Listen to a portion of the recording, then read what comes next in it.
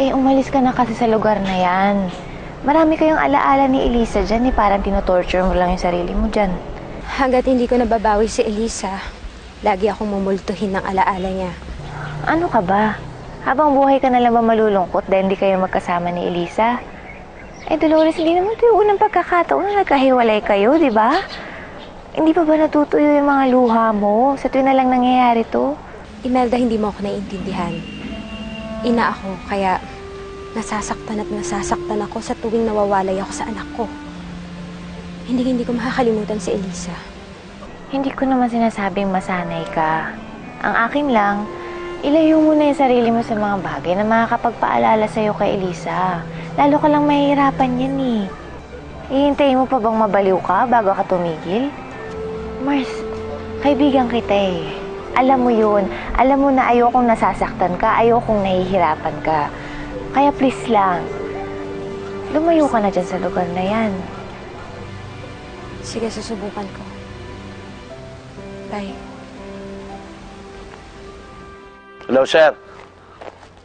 Opo. Ah, sige po, babalik na po kami.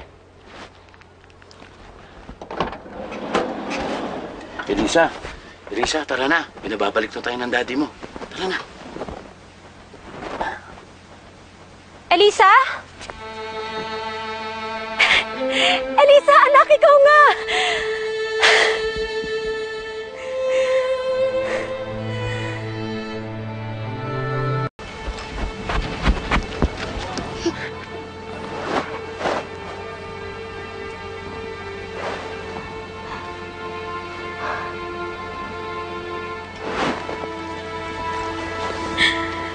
Elisa, anak.